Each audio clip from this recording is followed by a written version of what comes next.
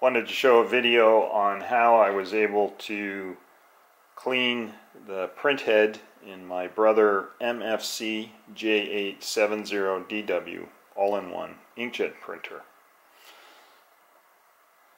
The black ink stopped printing on me and I ran the internal cleaning cycle um, and it improved slightly but uh, still uh, would not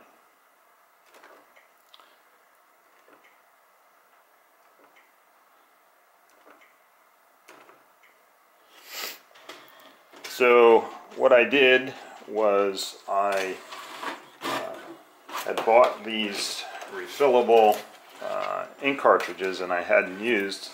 So I took the black cartridge and I uh, found a guy online who uh, you can make your own cleaning solution with uh, eight parts Windex and uh, two parts uh, rubbing alcohol.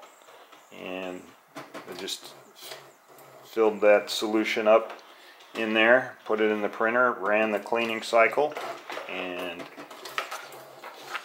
as you can see it's uh, works great. No smearing no fuss and it's kind of nice to have be able to have this around so if it does happen again I can just put it in there. I don't have to worry about syringes and pulling things apart doing all that kind of stuff.